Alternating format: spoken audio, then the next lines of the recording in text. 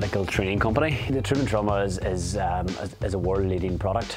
It's a mannequin for training on a variety of procedures. A lot of people would use cadavers um, historically for medical training. Things are starting to move away from that because of cost, because of the lack of versatility. It's advanced training for, for, for doctors in, in particular disciplines.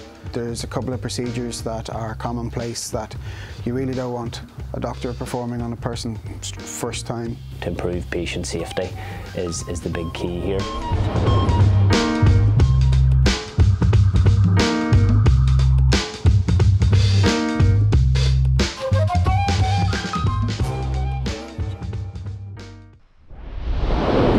Huge fan of, of the funding um, in terms of everything from, from the, the, ground floor up in terms of different developments. Uh, we can take risks with different types of technologies. The simulators go into hospitals. They are for anaesthetists or for first responders, paramedics. Having that extra real life training is very beneficial for you know positive outcomes for real people in the real world. So.